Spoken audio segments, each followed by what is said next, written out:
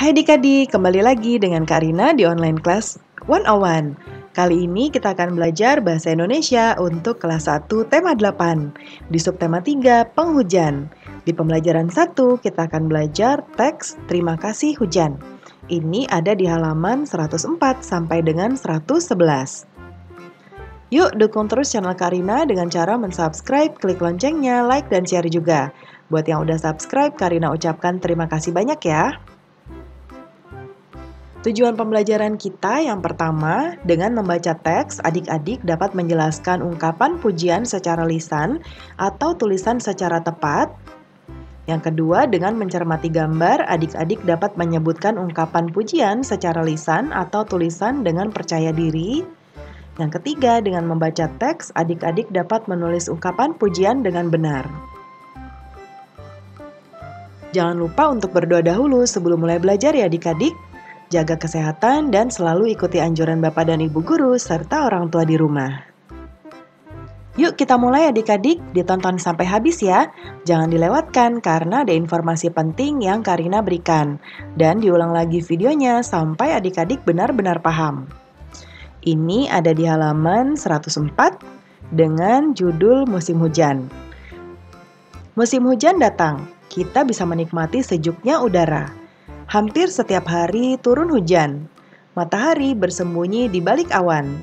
Petani menyambut gembira datangnya musim hujan. Tanaman dan pohon dapat tumbuh subur. Disiram oleh air hujan yang turun. Pakailah payung atau jas hujan agar kamu tidak kehujanan. Jaga kondisi tubuh dengan makanan bergizi agar kamu dapat beraktivitas dengan baik. Nah, ini musim hujan ya adik-adik ya. Jadi kalau musim hujan biasanya cuacanya bisa jadi tidak menentu. Ya, misalnya adik-adik berangkat sekolah cerah tapi kemudian pulang sekolahnya hujan. Ya. Nah, kalau hujan itu biasanya adik-adik harus membawa payung dan atau jas hujan supaya kita nggak kehujanan. Nah, kalau lagi musim hujan kita harus menjaga uh, apa kondisi tubuh kita ya dengan makanan yang bergizi ya supaya kita tidak mudah jatuh sakit. Nah, berikutnya ada teks bacaan judulnya Terima kasih hujan.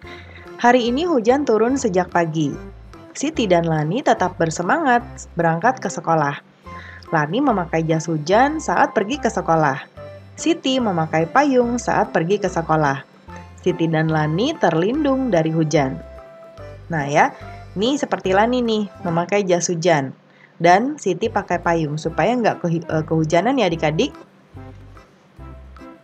Pohon-pohon dan tanaman terlihat segar. Pohon dan tanaman disiram air hujan. Nah, pohon yang disiram air hujan biasanya nanti akan tumbuh lebih subur, ya. Jadi tidak kekeringan seperti di musim kemarau. Katak bernyanyi gembira, menyanyikan lagu datangnya hujan.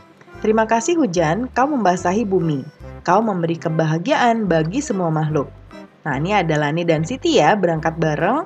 Tadi Lani memakai jas hujan dan Siti memakai payung.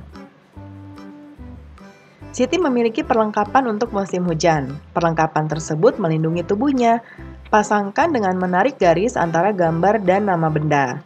Nah, kita lihat di sini ada benda dan di sebelah kanannya ada nama-nama bendanya. Nah, kita diminta untuk me narik garis sesuai dengan namanya ya. Kita lihat yuk. Yang pertama yang gambar warna hijau. Adik-adik pasti tahu ini gambar apa. Ini gambar jas hujan ya. Berarti ada di sini. Jadi kita tarik garisnya ke sini. Jas hujan. Lalu kemudian ini, uh, ini biasanya kita pakai kalau malam hari mau tidur ya adik-adik kalau dingin kita tutupi tubuh kita dengan ini. Namanya selimut, betul sekali. Kita tarik garisnya ke sini. Lalu di musim hujan atau musim dingin juga kita membutuhkan ini.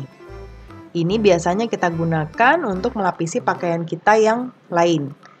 Ya, biasanya lebih tebal dan ada resletingnya di sini.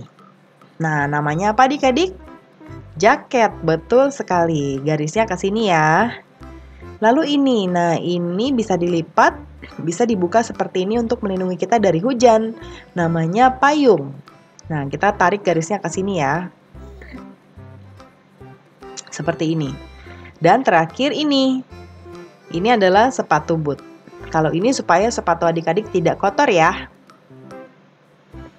Nah, sekarang berikutnya mana gambar yang sesuai dengan kalimat pujian. Jadi di sini ada gambar ada delapan dan nanti di sini ada uh, kalimat. Nanti kita diminta untuk menyocokkan gambar tersebut dengan kalimat yang ada di sini ya. Cocoknya dengan gambar yang mana? Nah, kita lihat di sini. Siti senang melihat hujan. Pohon-pohon terlihat segar. Bunga-bunga bermekaran, sungguh indah karunia Tuhan. Nah, yuk kita cocokkan di sini adik-adik. Karina sudah membuat kolom-kolom yang mau diisi gambar. Jadi kita nanti tinggal mengambil gambarnya saja. Ya. Yang pertama, alangkah indahnya bunga bermekaran pada musim hujan. Yang mana adik-adik? Yang ada bunganya yang mana? Ini ya. Jadi akan Karina ambil yang ini.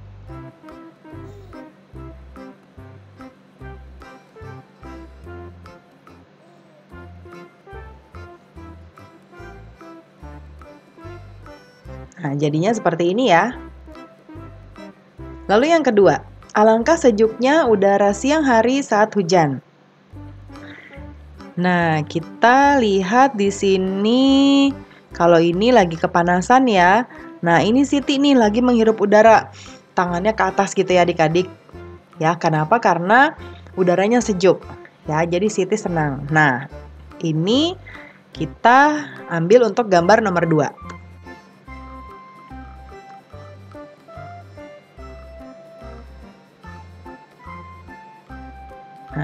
Ini kita potong dulu gambarnya. Lalu kita masukkan ke sini. Ya. Lalu yang nomor tiga, pohon-pohon itu terlihat segar tersiram hujan. Yang ada pohon tersiram hujan yang mana dikadik? Ini ya. Yuk kita potong gambarnya. Nanti adik-adik bisa potong di buku ya.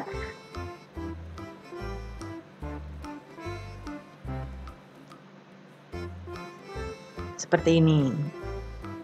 Nah, Kemudian anak-anak bermain hujan dengan gembira. Yang mana ya yang ada main hujan? Nah, ini karena anak-anak. Ya, kalau ini cuma Udin. Jadi Karina akan ambil gambar yang ini.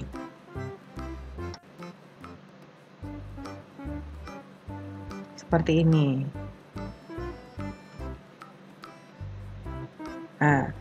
Kemudian yang kelima, eh, katak bernyanyi lagu turunnya hujan dengan gembira. Nah, ini ya katak adik-adik kita ambil ya.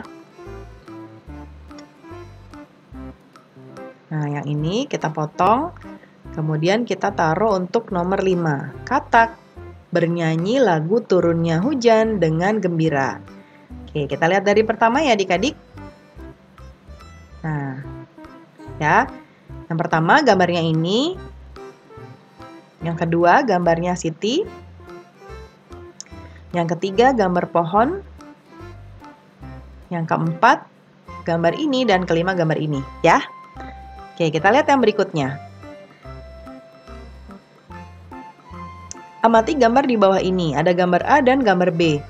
Gambar A ini sedang hujan, ya. Dan ini adalah Lani memakai payung sendiri tapi temannya kehujanan. Lalu yang ini, ini ada Benny memakai daun pisang ya sebagai payung pengganti payung tapi Udin kehujanan di sini adik-adik. Ya.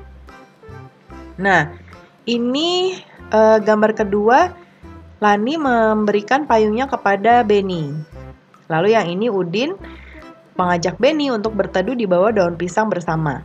Kita lihat tuliskan perbedaan pada gambar A dan B. Nah perbedaannya apa adik-adik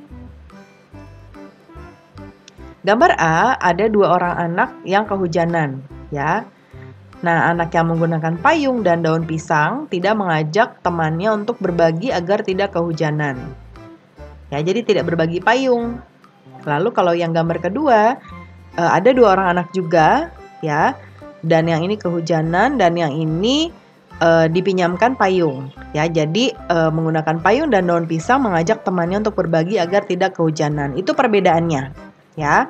Dan sekarang berikutnya berdasarkan gambar di atas, tingkari jawaban yang benar. Yang pertama, menolong teman yang membutuhkan, harus atau tidak perlu. Nah, jawabannya apa adik-adik? Apakah kita harus menolong teman yang membutuhkan atau kita tidak perlu menolong teman? Tentunya kita harus menolong teman ya.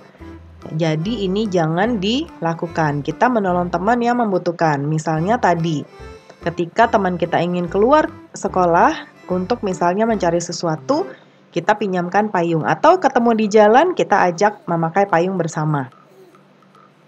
Lalu berikutnya ungkapan yang kita ucapkan setelah ditolong orang lain, apakah terima kasih atau diam saja? Gak boleh diam saja ya. Kalau kita sudah ditolong, mau itu oleh teman kita, orang lain yang tidak kita kenal pun kita harus berterima kasih. Nah, pembelajaran kita sudah selesai ya adik-adik. Terima kasih sudah menonton sampai akhir. Mohon dimaafkan apabila ada kesalahan dalam perkataan maupun dalam materi yang diberikan. Sampai jumpa di video berikutnya. Dadah!